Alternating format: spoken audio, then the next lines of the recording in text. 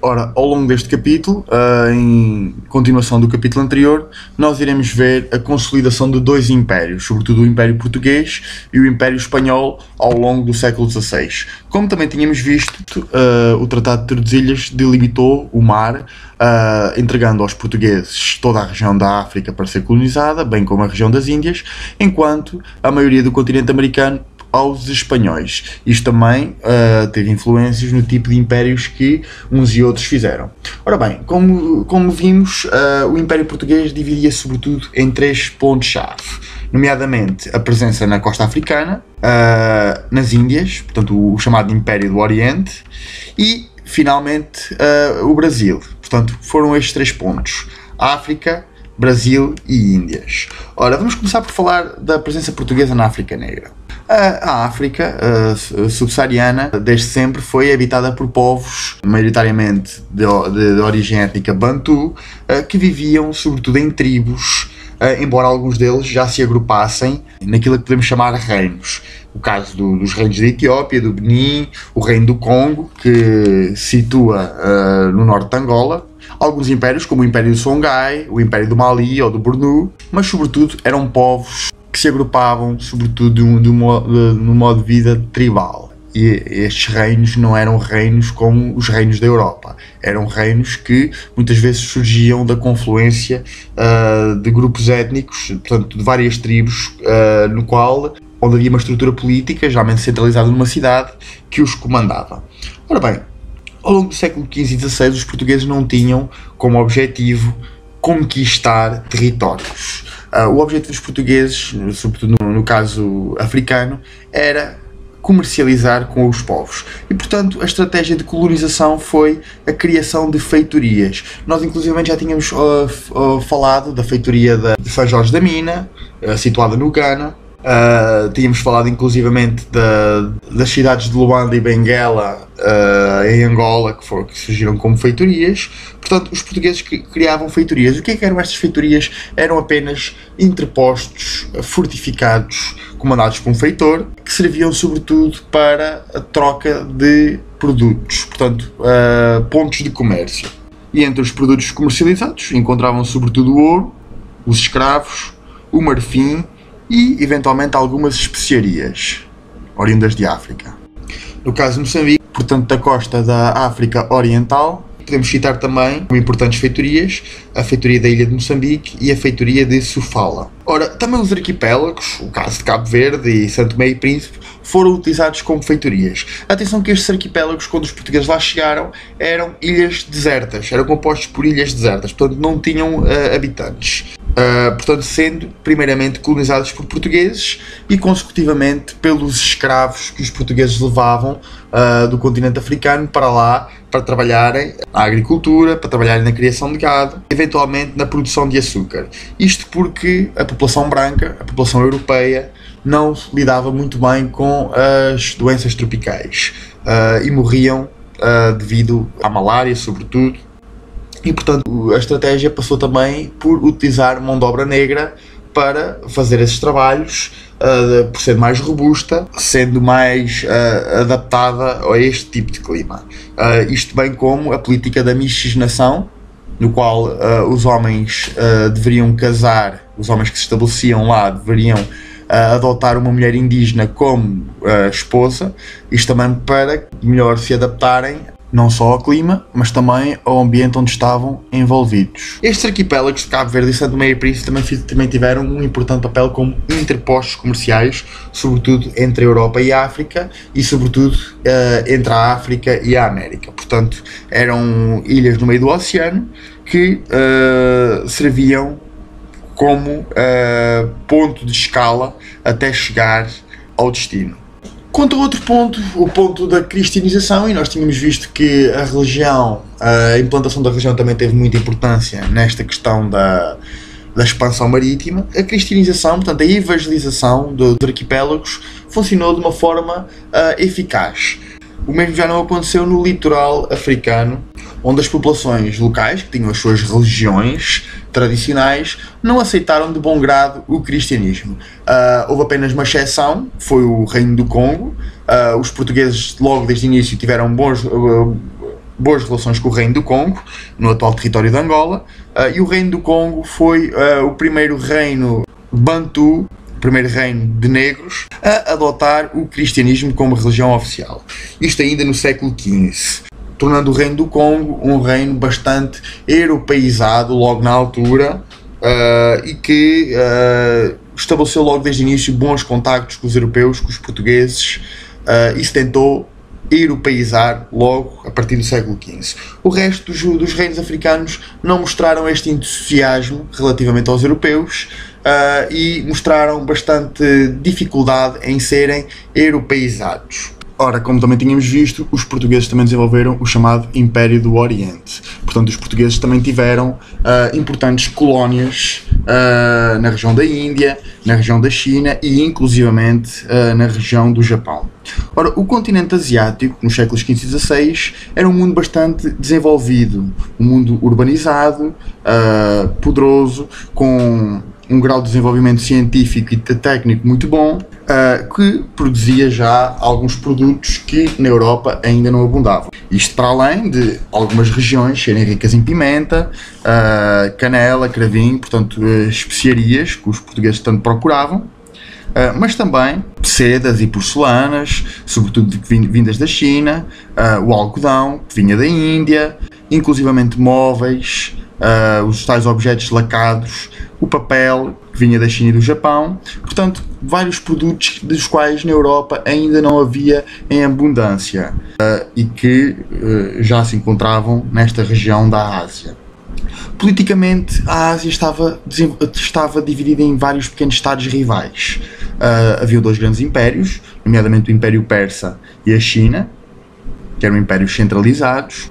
O resto eram pequenos, uh, pequenos grupos políticos muito descentralizados. Uh, as religiões que existiam né, nesta altura, na Ásia, sobretudo, falamos do hinduísmo, na região da Índia, e o budismo, que também começou na Índia, contudo floresceu mais na, na região do Tibete, na região da China e na região do, do, do, Japão. Isto para além da região muçulmana, que por sua vez também chegava a alguns territórios da Índia.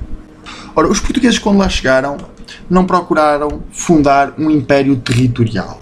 O objetivo dos portugueses era, sobretudo, criar um chamado império comercial, portanto, dominar os mares e obter assim o monopólio do comércio. Esta região já florescia muito com o comércio do muçulmano e, portanto, os, os portugueses encontraram nos muçulmanos uma forte oposição os muçulmanos uh, levavam os produtos da Índia através das rotas do Levante, portanto o Golfo Pérsico e uh, o Mar Vermelho, e através daí até a Europa.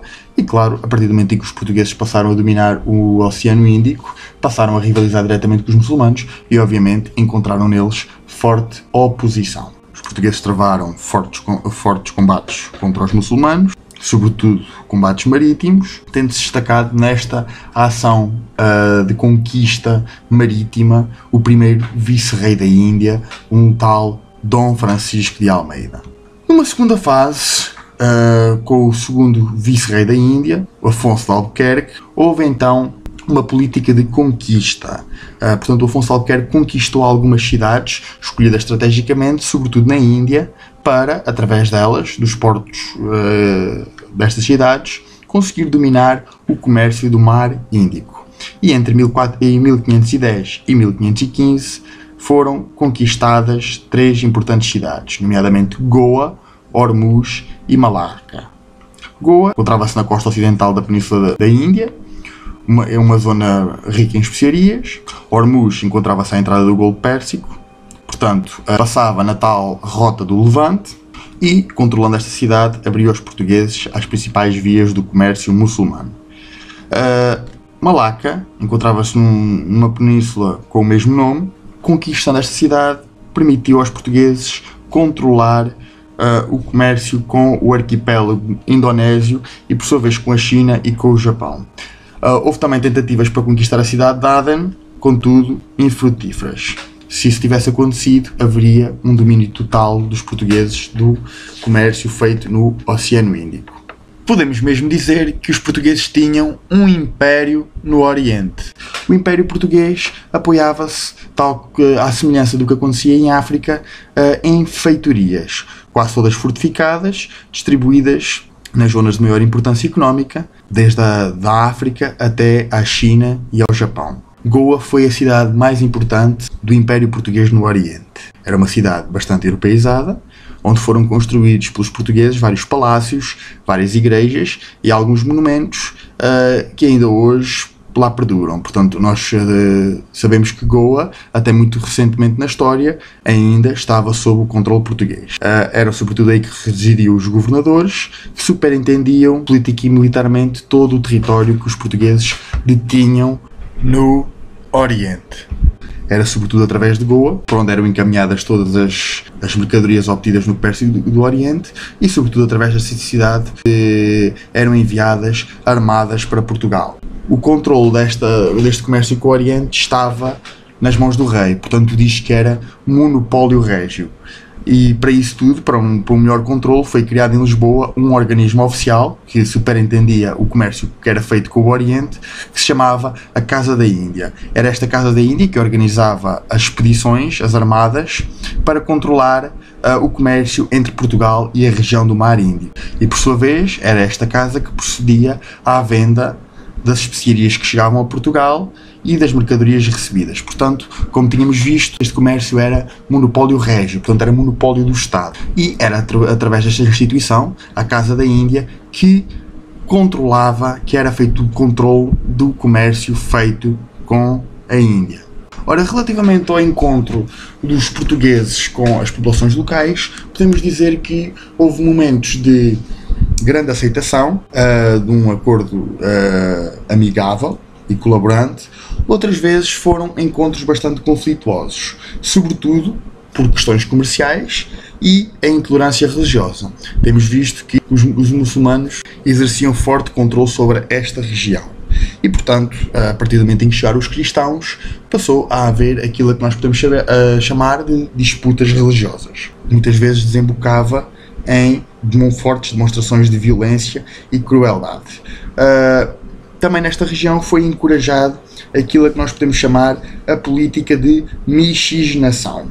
E o que é que isto consistia? A mistura de etnias. Uh, a mistura entre os, os fidalgos portugueses que embarcavam para as Índias com mulheres daquela região. Isto para fortalecer as relações de amizade entre as zonas. Uh, e esta política de miscigenação tornou-se uma uma prática comum, bastante encorajada pelo Estado português, uh, inclusivamente com a concessão de subsídios e outros privilégios aos uh, homens portugueses que casavam com mulheres indianas.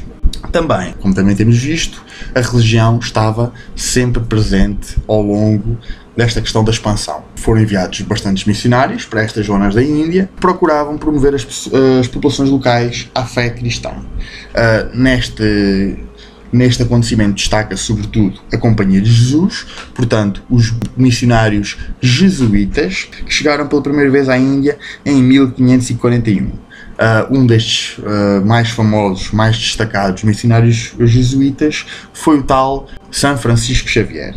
Ora, ao contrário do que acontecia, por exemplo, no Brasil, por exemplo, em África, onde uh, as populações ainda praticavam crenças tradicionais, não havia propriamente religiões muito organizadas, uh, muito implantadas naquelas populações, uh, no Oriente isso não acontecia. Já temos visto que nestas zonas haviam uh, a prática de religiões com bastante, com bastante organização. O caso do hinduísmo, do budismo e, eventualmente, do islão, a religião muçulmana. De qualquer forma, houve alguma penetração Uh, do cristianismo também nestas zonas através dos jesuítas, tendo-se construído várias igrejas, divulgando a fé cristã e muitos princípios da cultura europeia.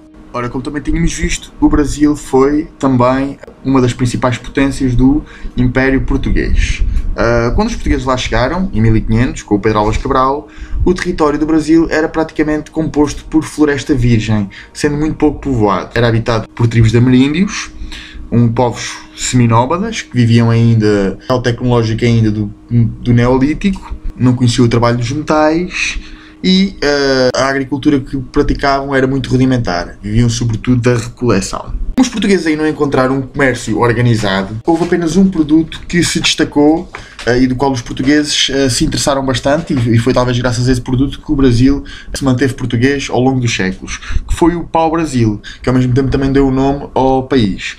O pau-brasil era um tipo de madeira utilizado para tingir os tecidos. Uh, contudo, houve uma ação. Durante esta época, Portugal interessou-se apenas pelo pau-brasil. Uh, era, era uma madeira que já era conhecida, era importada da Índia. A partir do momento em que os portugueses levaram contato com o Brasil, passaram a ser os principais produtores de pau-brasil. Por volta de 1530, os franceses e os espanhóis tentaram estabelecer colónias no Brasil, o que obrigou os portugueses a tomarem uma, uma decisão. Se quisessem ficar com aquelas terras, tinham que tomar uma decisão urgentemente. E foi então que, em 1534, o Brasil foi dividido em capitanias. Eram extensas uh, faixas de território entregues a título hereditário a capitães donatários. Os, os capitães donatários, à semelhança do que já tínhamos visto no caso da Madeira, no caso dos Açores, eram homens da nobreza, a quem eram entregues a parte administrativa das colónias. Portanto, representavam o rei nas colónias, tinham amplos poderes administrativos e judiciais. Ao mesmo tempo, também lhes cabia controlar o povoamento da terra e desenvolvê-la, sobretudo através da agricultura. Uh, o sistema de capitanias no Brasil, uh, nesta primeira fase, era bastante débil. Isto devia, sobretudo, aos constantes ataques por parte dos franceses e por parte dos próprios índios, de forma a centralizar melhor o poder e, portanto, tornar o poder mais mais enfortalecido, o Dom João III, o rei Dom João III, nomeou em 1549 o primeiro governador-geral do Brasil, um senhor chamado Tomé de Souza. Foi este senhor que se deveu a fundação da cidade de São Salvador da Bahia, que durante muito tempo foi a primeira capital do Brasil. Juntamente com este Tomé de Souza, seguiram mais de mil colonos, bem como os principais missionários jesuítas, entre os quais o padre Manuel de Nóbrega, cujo objetivo era cristianizar aquelas populações. A população continuou a crescer e no final do século XVI já existiam no Brasil cerca de 25 mil portugueses, sem contar com os mestiços e os chamados mamelucos. Quem eram estes mamelucos? Eram mestiços, filhos de pai português e mãe índia.